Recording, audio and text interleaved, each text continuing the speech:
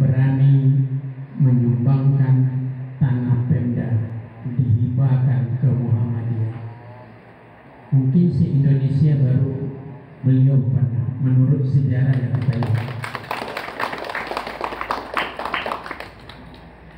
Dan Ibu Haji Indrajuni di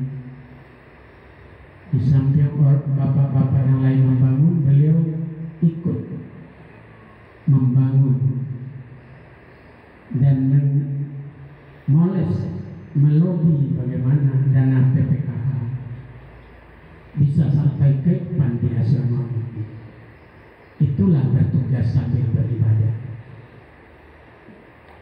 Jadi tugas dijalankan ibadah dijalankan.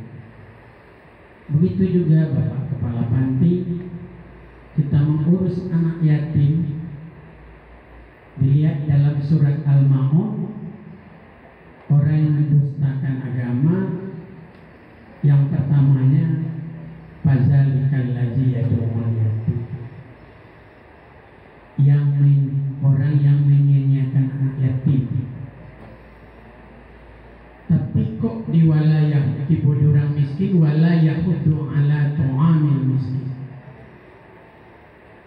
Kalau dia anak yatim tidak masuk diwek makan tapi mengurus. Mengurus itu tidak sekedar makan itu maksudnya. Kalau orang miskin itu fakir itu mungkin makan